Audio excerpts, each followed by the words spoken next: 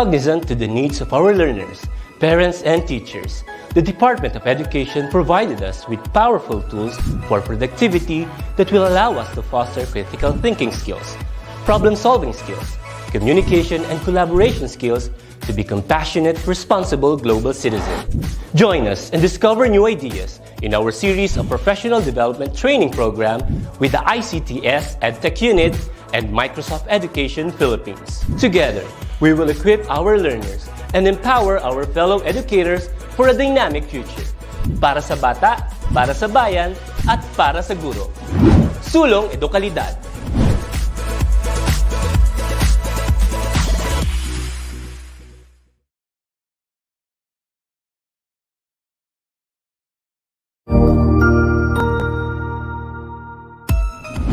Mabuhay!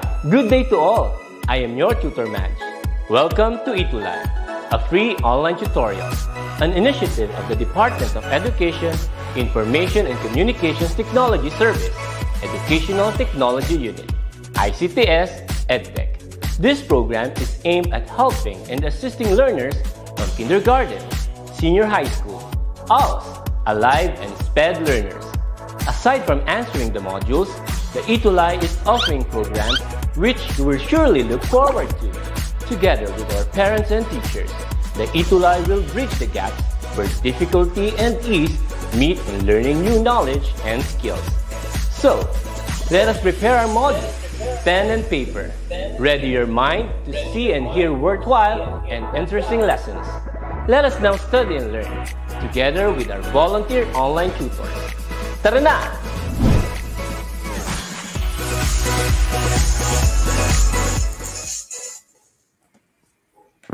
Hello, good afternoon everyone. Welcome po to our second quarter week 1.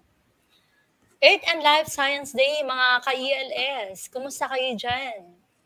By the way, I'm Tutor Jules from Kabiga High School, Caloocan City. And let us welcome my partner, uh, our program head, Tutor Tony. Hi, great day sa iyo, Tutor Jules, at great day sa ating mga ka-ELS at sa lahat ng mga hashtag mahusay na kabataang Pinoy at mga kapwa nating guro all over the Philippines. Oras na para ihanda ang puso at isipan para sa panibagong linggo na puno na ang agha amazing na pagkatuto. Dito lamang yan sa hashtag Itulay Level Up. I am Tutor Tony of Novaliches High School, SDO Quezon City, and we are very excited, Tutor Jules, because we are starting or we are kick-starting our quarter two with week number one topic entitled The Evolving Concept of Life Based on Emerging Pieces of Evidence. So later on, we will be acting out as bio-investigators because maghahanap tayo ng mga pieces of evidence para i-trace natin yung pag-develop or pag-flourish ng buhay or ng mga different life forms sa ating nag-iisang planeta. And I think, Tutor Jules, may kailangan tayong pasalamatan. Yes po. Thank you, uh, DepEd Region 4A, Calabarzon, for providing and sharing the Earth and Life Science module po. Maraming maraming salamat po. And for our attendance check, please, please, please mga ka-ELS, uh, please uh, do share our live stream para mas marami pa po tayo mga uh, ka-ELS, mga students and mga schools na maabot. And of course, reminding everyone to please be respectful with your comments. So GBGB lang tayo mga ka-ELS, mga good vibes lang tayo. Don't forget to type in your name, grade and section, school and location, as well as the name of your Earth and Life Science teacher dyan sa comment box. And don't forget to like and share, of course, our uh, Facebook page. That's Itula ELS with Tutor Tony and Tutor Jules. So mga nakapag-share at nakapag-like, maraming maraming salamat po. And at this point, we would like to acknowledge or recognize, ito yung utang natin, Tutor Jules, last time, no, for our quarter one, week number seven. Congratulations sa ating mga hashtag mahusay uh, learners, teachers, and schools. Starting off with our new friend, from Tumawini Standalone Senior High School. Hello, ma'am. Joanne Magallones. Ayan, uh, good afternoon po sa inyo. Thank you for sharing our live stream at maraming salamat po sa pagsuporta sa sa advokasya ng Itulay. We also have Ma'am Gemma Lindsay Fronda. Hi, Ma'am Gemma from Jones Rural School, Isabela. Who else, Shooter Jules? Uh, thank you po sa mga school, Ibisan National High School from Ibisan Capiz and Quirino National High School, Quirino Isabela. Ayan, mga bagong partner schools natin. And of course, uh, we're also saying thank you sa ating mga loyal uh, school partners, no, Tutor Jules. Maraming maraming salamat sa pag-subaybay sa aming mga tutorial sessions. And for our ELS Student of the Week, finally, congratulations to Nicole White uh, Hapor. Uh, she's a grade 11 uh, General Academic Strand student, section Thorium, from Daniel R. Aguinaldo National High School, Davao City. I hope you're watching right now and saying uh, good afternoon as well to Tutor Jen, Ma'am Genevieve Pepito, her ELS teacher. So once again, congratulations. Hashtag mahusay. And for our objectives, for our quarter two, week number one, ito yung pinaka-main objective natin, mga ka-ELS. We have to explain the evolving concept of life based on emer- emerging pieces of evidence. And specifically, uh, ito yung mga target natin for this afternoon. First, identify the sequence of events of the history of life on Earth. So magka-travel back pa rin tayo ulit sa uh, Earth's history. Pangalawa, name the pieces of evidence. Yung sinasabi ko kanina, mga ebidensya.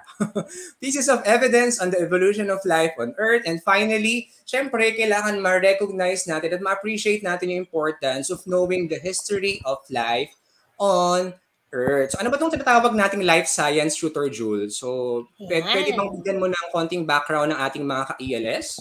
Okay, so for the introduction to uh, life science, this is the given definition. Life science is a collection of disciplines that is made up of theories and principles that tackles the structure and function of living things, starting from the molecular level up to the entire ecosystem. So when we say collection of uh, discipline, that is the the action of gathering facts, informations, mm-hmm. and knowledge that is made up of theories. Theory, when we say theory, that is the ano, the um, that is an information with validated explanation. Okay? An information with validated explanation for a particular instance. And then when we say principles, uh, when we say principle, that is the a fundamental facts that tackles the structure and the function of the living organism. So start from the function of the living organism from the molecular level, that is the basic part, up to the complex part, which is the ecosystem. Ecosystem. So I'm very excited, Tutor Jules, no? Kung quarter one ay nag-earth science tayo, so for this quarter, all of our topics, all of our discussions nice. will be revolving around uh, biology. So mga biological sciences tayo. And I think we need also to review the different branches of biology, starting off with, ayan, nakita ko na, sorry po. Study of animals, we have zoology. Sa mga plantito tsaka plantita, Tutor Jules, Anong tawag sa study of plants? And the study of plant is known as botany. Botany. And very this? important, oo, How very important the, po ang study pinakalas. of the of this microorganism Yes, uh, microorganisms. The picture represent the virus, not only actually virus mm-hmm. yan eh. Uh, the bacteria, the fungi, that is microbiology. Biology. So we have zoology, botany, and microbiology. Biology. Pero as we go along with our discussion no, sa so this quarter two, marami pang mga branches na malalaman ng ating yes, mga ka-ELS. So I think may mga mamimension si Tutor Jules sa slide na to. So bakit nga ba mahalagang pag-aralan yes. tong biological science, Tutor Jules? Eto na to. Uh, the life science is also known as biological science. Eto, this field advances our knowledge about the anatomy, another ano, another branch of biology that deals yes. with the uh, structure, parts, mga, mga parts, uh, yes. the body parts like mm-hmm. ano nga ba? Sample ng body parts, the heart, lungs. the brain, lungs, the and brain. everything. Okay, those are the example. And then uh, cell biology deals with the uh, the structure and their parts and their interaction also the behavior of the cell like yes. ano nga ba yung mga cell na yon like the sex cells yon the uh, somatic the, cells the blood the body cells, okay uh, oh. that is under cell biology and ecology Okay, that is a branch of biology that deals with the interaction with the living organism to another organism and their physical interaction to their environment. Yes, and that's correct. Genetics Another is genetics. Genetics is a branch of biology that deals with the study of uh, heredity. Okay, the heredity, those are the the characteristic, the physical characteristic uh, inherited from your from the parents to offspring. Mm-hmm. And we have also the molecular biology. Uh, molecular biology deals with the interaction of the cellular molecules like ano nga ba yung mga cellular molecules na mga yan? The nucleic acid, Yes, ano the proteins, and then the proteins, yes, which is very important, which is very important to the ano, to the biological process. Uh-oh. And then the last one is physiology. It refers to the functions and activities of the living organism. Ayan. So, is, ilan lang yan sa mga na-mention ni Tutor Jules. No? Marami pa actually tayo ma-mention na mga different uh, subdisciplines ng biology. And tamang-tama, uh, uh, Tutor Jules, are you fully Yes. vax fully vaxxed ka na ba? Yes ano, po. against COVID-19? Fully vaccinated po. Yan, so this is ayan. one of the application of ma- Tama. of the Department of Microbiology. Yan, product of the Department of Microbiology, the COVID-19 vaccine. So let us support COVID-19 vaccination program. Protektahan ang ating pamilya, paaralan at pamayanan. Alamin ang tamang impormasyon. Magpabakuna na, mga Magpabakuna na. anak. Back Ayan, to school. Gusto niyo na bang Oo. makita ang inyong mga teacher? Gusto niyo na bang makita si Crush? Gusto niyo ba yung classroom atmosphere? Gustong gusto na po namin. nakakamiss. Okay, Oo, so gusto natin lahat yan, Tutor Jules. So kapag may pagkakataon, no, I think meron na mga pediatric vaccines na sakop yung mga ka-ELS natin ng mga senior high school students. So kapag meron ng pagkakataon mag- magpabakuna against COVID-19, so take the opportunity ng mga ka-ELS. Alright? Okay, so I think we are now ready to discuss our MEP for this afternoon. Again, that is the evolving concept of life based on emerging pieces of evidence. So, Tito Tutor Jules, no, ma-share ko lang. So, si Tutor Tony nyo kasi medyo mahilig or sobrang na-appreciate ko kasi yung mga artworks. So, I have this uh, kind of artwork right here na pinapaki or kung saan pinapakita kung paano nag nag-boom or nag-flourish yung pag uh, nag-evolve or nag-diversify. Yeah, that's the right word. Kung paano nag-diversify ang mga from simple organisms to a higher or more complex organism. So from microorganisms, nagkaroon ng mga invertebrates and then vertebrates hanggang sa mga present organisms na alam natin ngayon. So pag-aaralan natin yan this afternoon at sa mga susunod pa nating sessions. Okay, so for this particular presentation or slide natin, Tutor Jules, paano nga ba natin malalaman na isang entity ay isang living organism? So paano ba masasabing ano siya, buhay? Ayan, so tingnan natin mga ka-ELS ha, i-assess ninyo mga sarili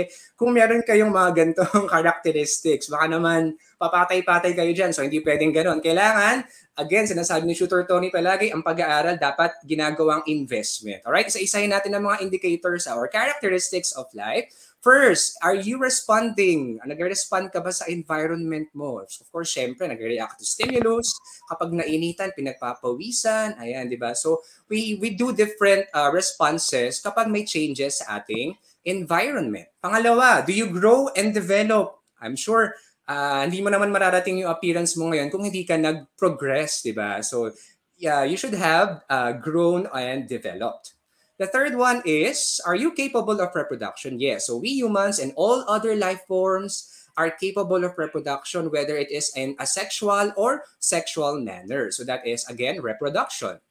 Pang-apat na uh, indicator, Tutor Jules, kailangan we exhibit or living organisms exhibit metabolism. Ano ba yung tinatawag nating metabolism na yan? So naririnig natin yan sa mga ano, Tutor Jules, diba? Sa mga nagda-diet or sa mga medyo slim. So ang sabi nila, ay buti ka pa, ang bilis ng metabolism mo. So pag sinabi nating metabolism, this is our body's way kung paano niya nagagamit yung or natatransform yung energy na uh, nanggagaling sa pagkain na kinakain natin. So that's actually the overall chemical reactions that happen inside our body para makapag-produce ng kailangan na kailangan natin na energy. So I hope ang mga ka-ELS natin ay may energy pa at this moment. Next is, ayan, very important. Ko po, uh, we should, or living organisms should maintain what we call homeostasis. So, pag sinabi nating homeostasis, kakabit nito yung uh, words na internal balance or stable environment. So, ibig sabihin, kaya nating mga living organisms uh, makapag-maintain ng internal environment natin uh, kung, kung meron man changes sa environment. Alright? And finally, ayan. So of course, all living organisms are made up of cells. Alright? So speaking of cells, review natin din, Tutor Jules, sa kanila ang types of organisms based on cell structure. On our presentation right now, you can see, ayan, sa left, we have, alright, excuse lang, we have this one, an animal cell, right? And on the right naman is we have a bacterial cell. So ano bang pinagkaiba nila? So isa-isahin natin. So basically we have two types of organis organisms based on cell structure. The first one are the eukaryotes, kasama tayo dyan. And we have the prokaryotes, ang ating mga ancestors. So mamaya titrace natin na kung bakit tinawag natin silang mga ancestors. So basically, ang main difference nila would be this. Eukaryotes are any cell or organism that possesses a clearly defined nucleus nucleus contains the ano the genetic material and controls all the other uh, activities ng cell. Kung i-compare natin sa prokaryote, ang sabi dito, prokaryotes are any organism that lacks a distinct nucleus. So as you can see here, wala siyang distinct na nucleus. All right? And another uh, feature ng mga eukaryotes natin, mga ka-ELS, is that they contain organelles. Pag sinabi natin organelles, if you would recall sa inyong junior high school, uh, these are the little organs or mga other organs along with the nucleus na para uh, they function para at least maging uh, productive ang ating mga cells sa katawan or sa any other forms of life. So walang ganoon ang mga prokaryotes. And based sa structure nila, medyo magulo. Kumbaga, in terms of organization, medyo komplikado siya. Parang ano mo lang, ang feelings mo sa sa crush mo. Hindi, joke lang. Ayan. Other organelles due to, ab- due to the absence of internal membranes. So pag sinabi natin mga internal membranes naman, mga ka-ELS, so kumbaga wala parang walang ano, walang boundary, walang nagse-separate, kaya nga medyo disorganized ang ano, ang mga prokaryotes. Although, uh, it still function no as a living systems. All right. So again, Eukaryotes, meron siyang distinct nucleus at organelles. Prokaryotes, yun yung wala silang ganun. At absence na iba pang mga organelles and internal membranes. So sino-sino ang may eukaryotic cells? So kasama tayo dyan. So we have animals, plants, fungi, and protists. And kapag eukaryotes, we can be or they can be unicellular or multicellular. Pag sinabi natin unicellular, it's made up of only one cell, pero living organism siya or it is a multicellular organism. Pag sinabi namang multicellular naman, uh, it is made up of two or more or hundreds or thousands or millions or billions of cells. All right? For prokaryotes naman, ang under nito or yung mga member or representative organisms would be bacteria and the archaea, mga special types of bacteria. And all of them, take note ha, uh, all of the pro, uh, prokaryotes are unicellular. All right?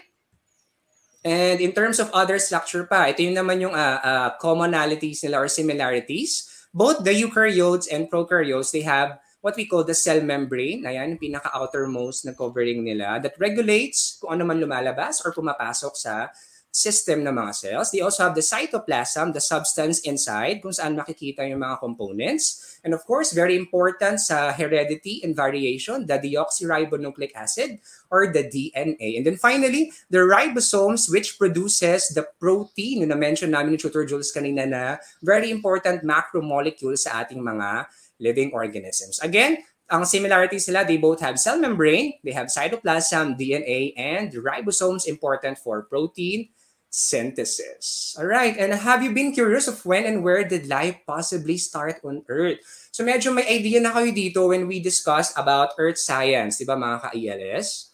Ayan, so tat, uh, sasagutin pa natin yung tanong na yan, but because, ayan, so tingnan natin yung ano dito, structure or yung diagram here.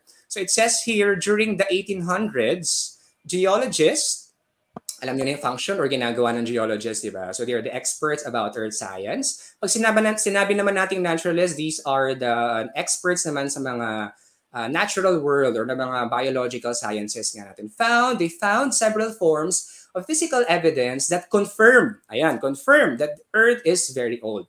And because of that age, of course, nag uh, nag-transform, nag-evolve, at nag-diversified nga ang buhay. So ano nga ba yung mga evidence na yon? So the evidences include Right. First are the fossils. We're familiar with fossils. Uh, fossils of ancient sea life on dry land far from ocean. So, anong ginagawa ng mga fossils ng ancient sea life sa dry land. So this supported the idea that the Earth changed over time. And take note, some dry land today was once covered by oceans, di ba? So uh, ilan sa mga very significant fossils is we have we have the trilobites, diba? Dumami yan during the uh, specific history ng ating planeta, yung mga early forms ng uh, arthropods natin. We also have, ayan, anong ginagawa on the right uh, lower right ng inyong uh, screen right now, you can see a fish fossil na nakita sa Himalayas mountain range. So anong ginagawa ng fish fossil sa isang bundok or sa bulubundukin, di ba? So that only means or that only supports na before yung mga lugar na yun or may mga lugar talaga sa mundo na they were once covered by oceans. Ayan. So number one evidence natin ay fossils. Pangalawang ebidensya. So familiar na rin kayo dito, na-discuss na rin natin to sa ating earth science. So the uh, we have the second, the many layers of rocks. So these allow the people to realize that rock layers represent the, the order in which rocks and fossils appeared. So thus they were able to trace the history of Earth and life of Earth, uh, life on Earth. So this only means na on a particular level, di ba? So the, wa, ayan, may label yan, 1 to 7. So the pinaka-bottom na yung mga nauna, of course, mga older na organisms. And on a particular layer, may nakita silang particular fossil that suggests kung anong particular organism ang nabuhay during that uh, time sa history ng Earth. And the third, ayan, so, syempre, lagi natin na mention na ang inang uh, Mother Nature, inang kalikasan ay very, impor- very important and very uh, powerful din because the indications that volcanic eruptions, earthquakes, and erosion that happened long ago shinape nito o ni-landscape nito kung ano man ang nakikita natin ngayon sa sa surface ng Earth which also suggests that our planet is also uh, is also uh, an old planet right so again that's fossils the layers of rocks and the, uh, the different geologic processes. After this I think uh, teacher tutor Jules is now ready to discuss with you. Meron tayong babalik tayo. Ito yung sinasabi kong babalikan natin no na tutor Jules na specific the, histories or part ng history ng Earth. Ayan. Yes, so, ano bang gagawin the timeline of events. Okay. Uh-huh. For this timeline of events, uh, let us analyze the timeline. You are going to arrange later on uh, yes. in the next page. Uh, you will write number one to six under each picture to show the order of the appearance of the life forms on Earth. So let's have the 4.6 to 3.8 billion years ago. By the way, the description is presented through the picture on the right side of the slide. Yes. So that is number one. The early Earth is said to be violent because of the meteorites and volcanic eruption with the condition zircon crystal was formed. Mm-mm. So, so ano ba tong zircon crystal na to, yes. Tutor Jules? That so, is zircon... uh, rarer, rarer than diamond, sir. That is rarer mm-hmm. than diamond. So ginagamit ito ng mga geologists, uh, one of the minerals na ginagamit ng geologists para ma-determine yung uh, age ng mga rocks. So very important tong appearance or existence ng mga zircon crystal. Let's proceed with the next event. Okay, next is the life on Earth initially began with prokaryotes discovered in sedimentary rock formation called stromatol stromatolites. Yun. So, na-discuss mo na to kanina, sir. That was right. 3.5 billion years ago. Mm-mm. So, uh, related yan sa next event natin, Tutor Jules, no? So, 3 billion years ago. And then next, the first photosynthetic organism tribe the Earth, which is blue-green algae called cyanobacteria. Ayan. And of course, if you would recall no Tutor Jules, nung hindi pa stable yung uh, planeta natin, kumaga medyo ano pa, we are being bombarded by uh, uh, uh, other entities, mga meteoro- meteoroids, asteroids uh, sa outer space. So medyo toxic ang ating atmosphere. It was only during the formation or the the existence of the cyanobacteria kung saan nakakontribute ito para magkaroon tayo ng uh, stable amount of oxygen. Ayan, so nagkaroon na ng oxygen and then eventually uh, history, yun nga, uh, as they say, no, history, the rest is history. So nagkaroon na ng presence ng other life forms because nagkaroon na tayo ng existence ng very important gas called oxygen. At dahil yan sa mga cyanobacteria. 2 billion years ago, what happened, Shooter Jules? Appearance of the first eukaryotes and the influx Ayan. of multicellular organism occurred 1.2 billion years ago. So when we say influx, they appear in group. Yes. Oo. And they have also to take to take note, Tutor Jules, no, from prokaryotic organisms, no, kanina, so from simple or simpler organisms, nagkaroon tayo ng mga more complex in the form of eukaryotic cells. And then right after that, 500 million years ago, what happened? The Paleozoic era, when the tri the trio the trilobites and the cephalopods become dominant in the ocean, particularly during the Cambrian and Ordovician. So Oh, The in period. Ayan. So alam na alam na nila. Yan yung trilobites and an example of uh, cephalopod. Makikita natin yan mamaya sa exercise natin. And 251 to 65.5 million years ago, our favorite era. Yes, the Mesozoic era, the age of reptiles, and Oo. has a span of 251 to 65.5 million years ago, divided into Triassic, Jurassic, and Cretaceous period. Sabi ko, may mga estudyante ako na belong to that era eh.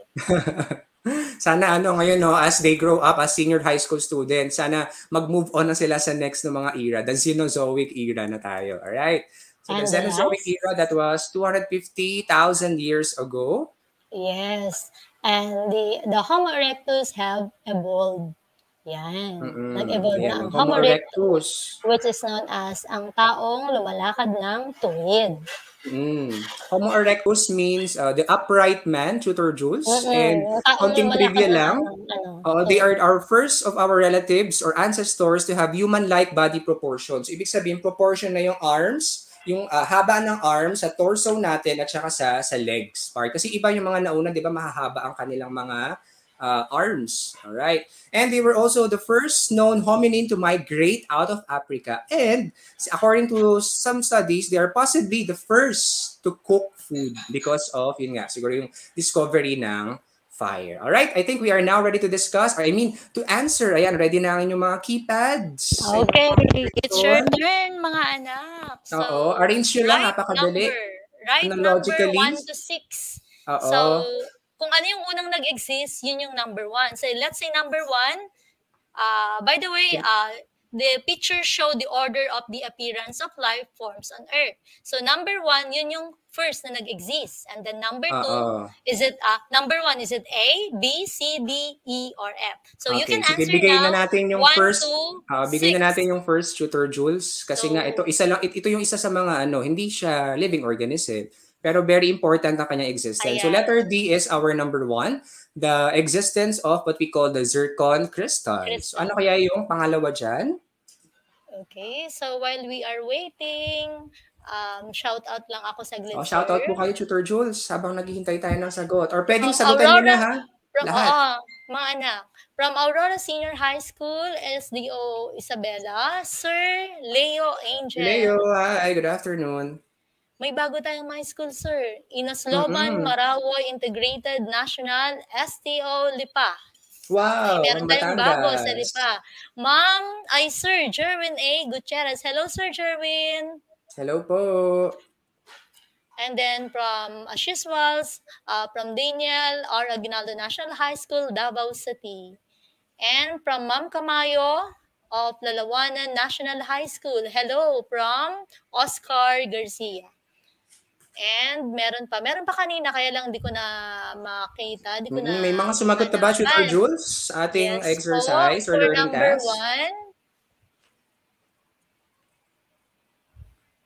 Punong-puno pa lang ng attendance hanggang ngayon. Number two na tayo. So number one, the exi- oh, number one, okay na. Ayan, number so one is the na natin, crystal was formed. And then, Mhm. sir, still waiting. Ang ating number two is, would be about the presence of the green algae. The Na first nakakabit sa ating mga. Oo. Ano po? Alright. So, dahil dito nagkaroon ng presence ng ano no, ng oxygen. So, naging mas stable ang ating Ayun, atmosphere. So one is E. Mm-mm. No. So, One habol na lang yung iba, yes, no? you are correct. You are correct. Mark Junri Napoles. Ayan, si Mark One. B. Hello na. Okay, Mark Junri Napoles. And then for number two, it's letter C. C. Waiting po. Letter C, sinong nakakuha? For number 2, puro number 1 pa lang to. Mm-mm. For number 2, it's letter C. Letter C. Medyo nahirapan yata ang ating mga ka-ELS kasi based sa drawing. Ah, pero pag nakita nila dun sa module, may ano kaya, may keyword kasi na may mga word na nasa bandang baba. So that will be the guide. So for number 2,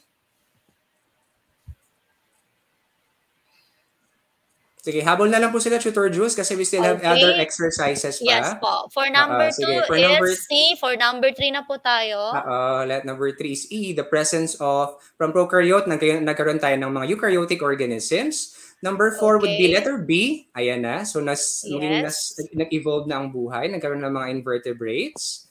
Ayan. Number five is letter F, the presence of the, the giant lizards or mga dinosaurs natin. And then finally, uh, man was able to stand upright. Yung letter A natin. That is our number six. Ito, baka mas Okay. madalian sila sa next task natin. So, ang favorite Anak, natin, uh, pag-arrange ng jumbled Naka number letters. 5 naman na kayo. Ito, mas madali na. Okay, Oo. so naka 1 to 5 naman na sila, 1 to 6. So let us proceed to the next. Um, arrange the jumble word. Number one, a marine animal first evolved at the beginning of the Cambrian period, 542 million years ago, where they dominated the ocean. What's the Ayan. word? Kitang-kita. Okay, meron na ba? Starts with Hanggang letter ngayon, T. Number, number 6 pa rin sila. Baka nag-ano lang po. Number, yes nga po, medyo Oo. mabagal. And then for number two, pwede na ring sagutan. Number two says, the modern human that yes, have you're evolved right. Alea Chavez. 240,000 years ago. Okay, trilobite. You are right. Trilobite. Uh, Alea Chavez. Who else? Alea. Hello. Okay, for For the number two, second meron na one? rin. Meron na rin. The modern human that have evolved 250,000 years ago. Homo erectus, according to Mark, Mark Junry Napoles. Napoles. Homo Okay. erectus. You're correct. The third Beverly one, Lorenzo. Okay, for the third one. A basic cell type which lacks a true nucleus o yung walang nucleus. Ang mga representative organisms are the bacteria, the blue-green algae, archaeans, and spirochetes. These are some examples of this Joy belonging to this Lorenzo, cell type. answer, prokaryotes. Prokaryotes, you're correct.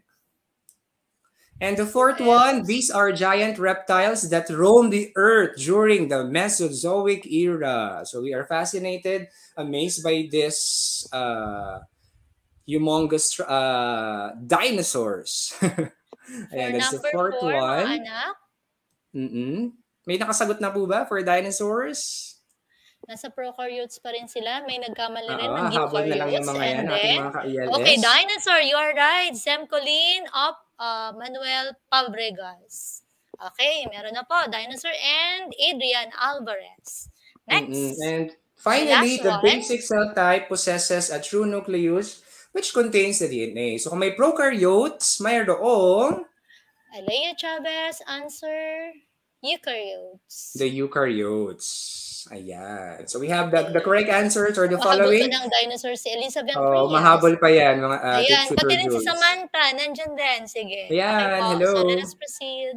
So we have trilobite, Homo erectus, prokaryotes, dinosaurs, and eukaryotes. So ito na, ready na po for screenshot. So we appreciate yung mga nagme-message sa amin, no? For our ELS question of the week, medyo minsan uh, late lang namin nare-replyan kasi medyo may task din kami sa school at medyo Oo. na-busy lang kami this past few weeks. But still, we uh, we, we say thank you sa inyong uh, support, no? Nakakatuwa ang daming nag nag-effort. Ayun, we we appreciate your effort. Ito na ang ating question of the week for quarter 2, week number 1. So if you are an environmentalist, since we talk about different forms of organisms today, Tutor Jules, no? And you were assigned in one of the forests sa ating bansa, which happened to be a location of some endangered species. O medyo challenging tong question na to. Ito yung tanong, what are the plans that you would organize What are the plans that you would organize to ensure the conservation of the species of the flora and fauna present in your assigned area? Pag sinabi nating flora, this pertains to the plant species. Pag sinabi naman nating fauna, this refers to the animal species. Alright? So if you are an environmentalist, anong gagawin mo para ma-conserve yung mga living organisms? Send your answers via Facebook. I-PM lang kami sa Itula ELS with Tutor Tony and Tutor Jules. Papokus ko rin to sa ating Facebook page just in case you miss our ELS question of the week. And speaking of that, ayan, before we reveal our, yung mga sumagot last, last, last week, no, here are our key points for this afternoon. The Earth is about 4.6 or 4.5 to 4.6 billion years old, and life on our planet probably began only between 3.5 and 4.0 billion years ago. Next one, evidences from fossil records show the emergence of the different life forms. Ayan, so nagbigay talaga ng clue ang mga fossils kung anong mga particular organisms ang nabuhay on a particular time ng Earth's history. And we talk about also today uh, stromatolites. Ayan, at the present, the oldest cell microfossils are the filaments from the 3.5 billion year old rocks in Western Australia. By the way, ang mga stromatolites, ha, they can still be seen on areas uh, Australia, right uh, ngayon at, at present day so para silang mga living fossil kumbaga so the filaments resemble chains of modern photosynthetic bacteria and the rocks in which they occur are the remains of the ancient stromatolites Another key point, ayan, tandaan mga ka-ELS, eukaryotic cells evolved from prokaryotic cells. Next, the evolution of life is, of course, brought about by the changes in the environment which are linked to changes uh, na napakalaki or napaka-importanting factor yung nangyari sa uh, Earth's history, no, yung climate, like just like the ice age, 'di ba? Nung natunaw yung ice age, tapos nang nung nagkaroon ng impact yung isang malaking meteoroid or asteroid, it uh, it affected kung ano yung mga organisms na naging extinct at mga nag ex or exist, existing pa rin right now. And of course, yung mga geological processes. And then finally, these changes made the Earth's environment more suitable for a wider variety of life forms. Kitang-kita naman, no? So, so sobrang dami ng mga living organisms natin, Shooter Jules. So, kumbaga, maliit na percentage pa lang ang nade-discover at napapangalanan ng ating mga uh, experts or mga scientists. All right. Uh, ito na yung question natin last week, last last week, and our we're saying congratulations to the following. Frances Carel C. Bayan from Jones Rural School. Uh, we also have J. Elasam from Tumawini National High School, Isabela. Also, Jano Maria Ferrer, ayan, the same school, Tumawini National High School, Isabela uh, care of Ma'am Joan uh, Magallones. Si Frances naman ay care of Ma'am Ivy Pfizer Gabehan. Get well soon, Ma'am Ivy. Ayan. So they answered our questions correctly. The same with Diane Joy D. Madaya. Congratulations from Tomawini National High School, Isabela. So bakit nga ba tinawag na stable island ang Palawan? That is because uh, ang foundation ng uh, ng Palawan is said to be continental rocks and aside from that uh, kung maalala niyo yung discussion natin about uh, uh, hazard maps, di ba? So Palawan also has no active volcanoes, no active fault lines, and no deep trenches. So walang mga paggalaw na magaganap. Or mer kung meron mga shaking, it's because of the nearby areas. All right? So congratulations to our hashtag mahusay answers of the week. And time for our quiz, Shooter Jules. Question number one po. Kindly read. Time. Okay, ready na mga anak? So get ready.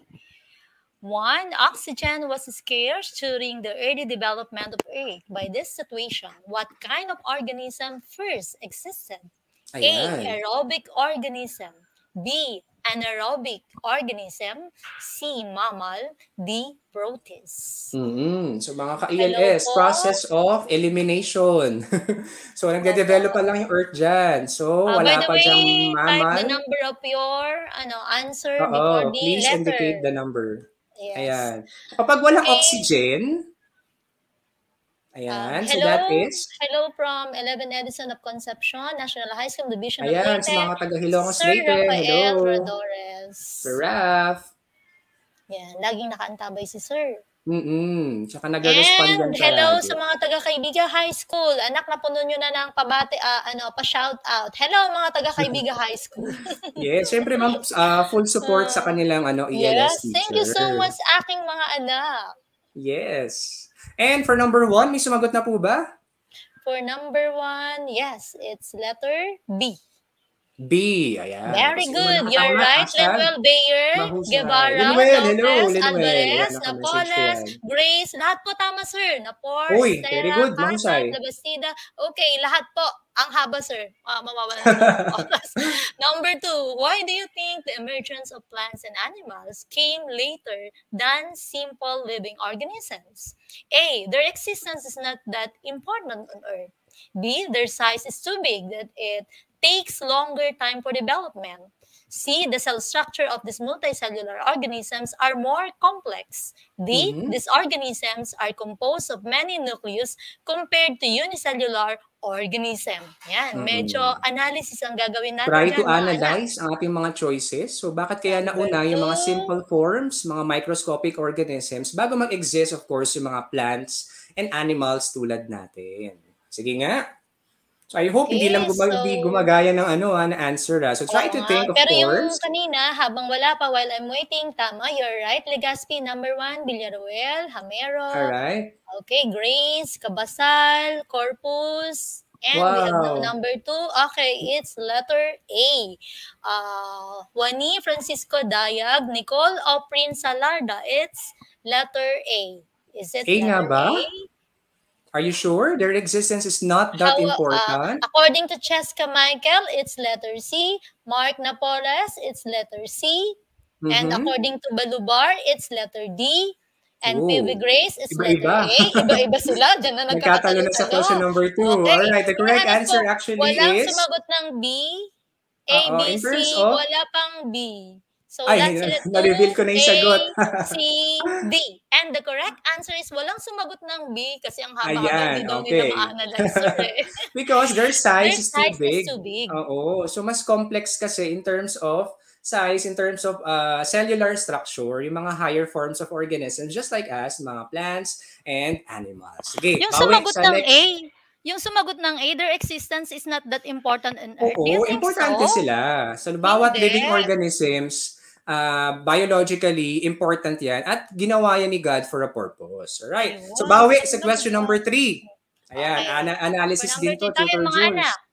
Mahaba na naman ulit. Which of the following is not true about the evidence that fossils provide? Mm-mm. A. All fossils true, ah. gathered contain intact DNA that can be sequenced. Mm-mm. B. Lahat ba ng Foss- fossils? B. MATNA? Fossil, fossil ages can often be determined by testing nearby rocks. C. Fossil organisms often, often share physical similarities with living organisms. And D. Some fossil organisms are transitional forms between groups of organisms. Okay, number three, ready? Puro number two pa rin ito ah. Okay, So, number not three, true. ah. We're looking for the false Grace. statement.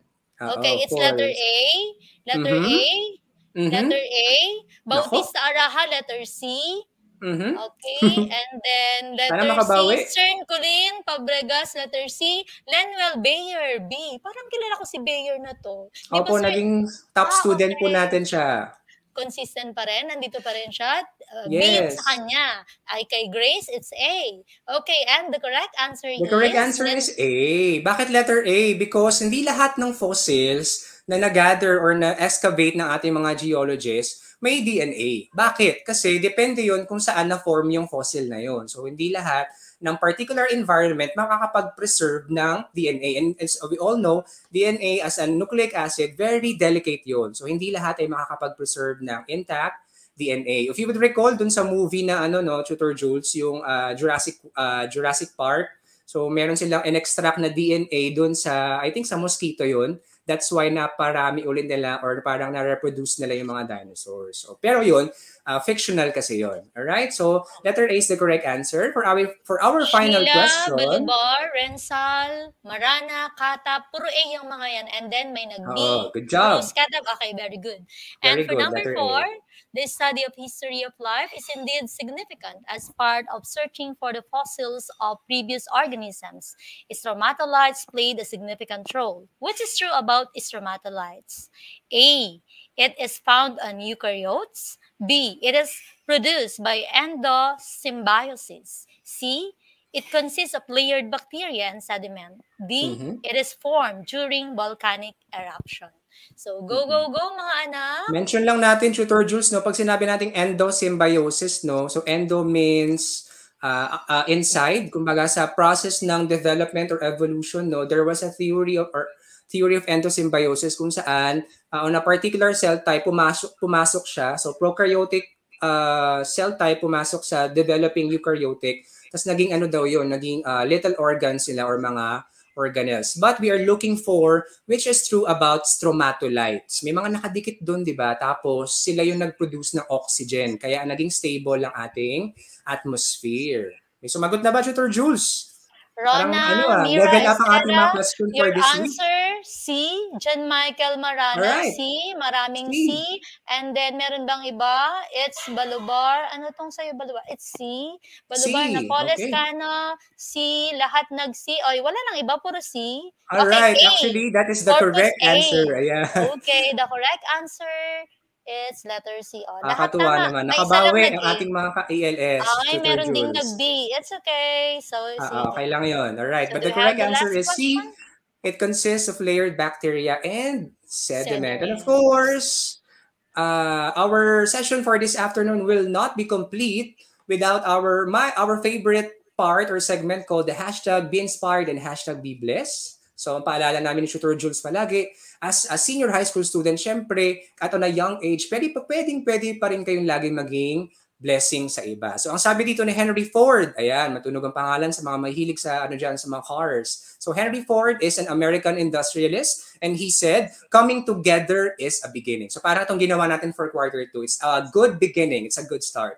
Keeping together is progress. So parang yes. sana Nandiyan pa sila, nadagdagan pa po, nadagdagan uh, mga ka-ELS family. And ito yung pinakamaganda, working together is success. Yung parang ginagawa natin sa Itulay, di ba? So we're helping our schools, our teachers from all over the Philippines via the Itulay program. So sana suportahan niyo po ang ating mga programa. Ayan. So at sana na-inspire pa rin kayo magpatuloy. And special greeting lang no, Tutor Jules, sa ating very supportive Itulay Chuti And napaka-supported din sa aming mga DepEd TV teacher broadcasters. Sinata- tinatag kami lagi kapag umi-air yung mga episodes namin online at saka sa TV. Happy, happy birthday to Joseph Conrad Bulaklak. Ayan, so he is a grade 12 student, ICT ang kinukuha niya.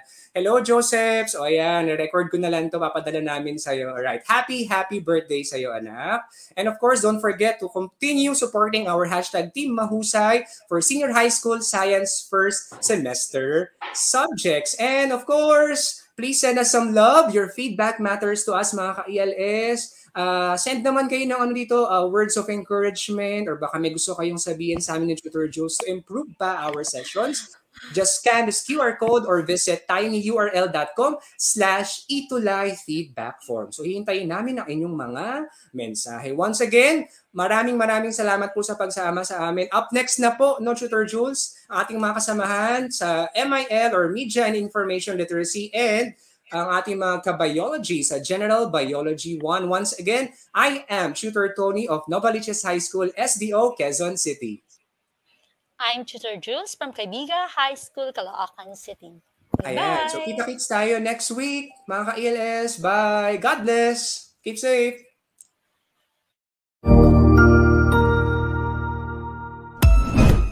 Ang husay naman! Natapos mo ang iyong tutorial session kasama ang iyong mahusay na Itulay Tutor. May bago ka bang natutuhan? I-share na yan gamit ang hashtag Itulay Level Up. Huwag aalis ha dahil may susunod pang programa na pwede mo ring panoorin at salihan dahil naghihintay na ang iyong mga tutors. Happy learning dito sa Itulay!